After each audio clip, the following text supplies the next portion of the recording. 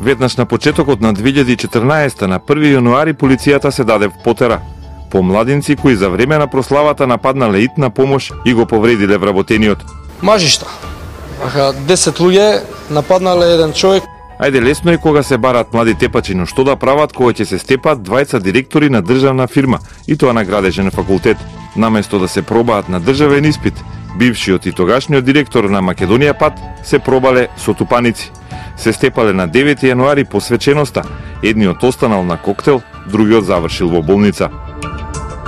А во болница во февруари замине и поштенската службеничка која два пати беше ограбена и натепана во поштата во Катланово.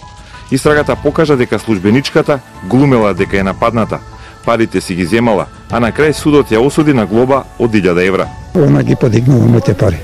300.000. А што да се каже за краци кои обивале викендици во Охридско и покрај злато краделе и низи везени пиперки. Ќе има за што да раскажуваат за дрешетки. Одземале пари, златни предмети, па дури и низалки со пиперки и венци со кромит. Веќе сме во април, иако пешаците мислеа дека е првоаприлска шега, министерката Јанкуловска сериозно им делеше жолти и црвени картони за непрописно минување на скопските зебри. Обично казнуваме, ма денес само картони.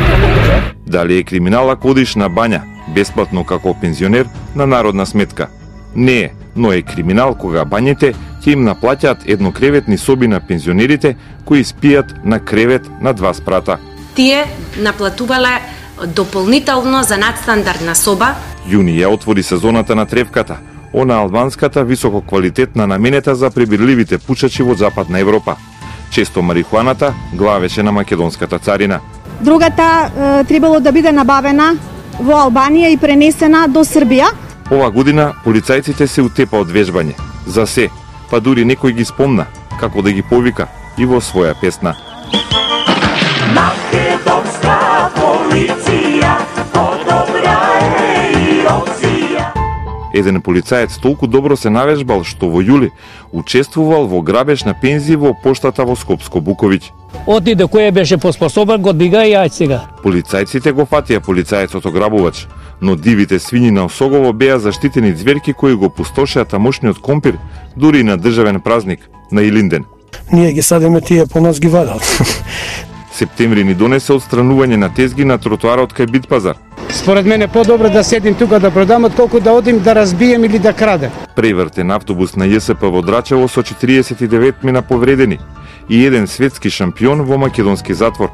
Дејан Котуровиќ има кошаркарско злато, но доби и три месеци затвор затоа што во Македонија возел украден джип. Полицајците беа на маки, предизвици од подземја, закани од воздух, опасности во суджук и свинско ребро. Па може да им се случи да заборават да гледаат право пред себе додека возат. Ако не виделе во што ќе удрат, тогаш успеа да ја видат микроскопската клица на опасната ебола во Скопски хотел. Полицајци во униформа, а чудаци во скафандери околу нив во октомври бараа ебола, но открија дека англискиот пациент умрел од друго. Октомври еболата го донесе светот во Скопје. Like it's going to be a 48 hour to see if it is Ebola or not. А ноември беше претерано црн со две тројни убиства поради семејно насилство. Не донесе до последниот месец, каде полицајци бараа чиј е ракописот на зградата на пратеничка, која сакаше, па не сакаше, па не ја бойкотираше работата на собранието. Тоа беше ситно во однос на акцијата Чекан. Чеканот го дофати хамерот на гостиварската група во декември, а полицијата успеа да расчисти со криминална група која за високи фестивалски награди организирала телевоутинг мрежи, но не успеа да ја расчисти музичката понуда. Раде Пилето уште прави песни. Гледај ми гацај, циганко, се ке дадам, само да ја најдам.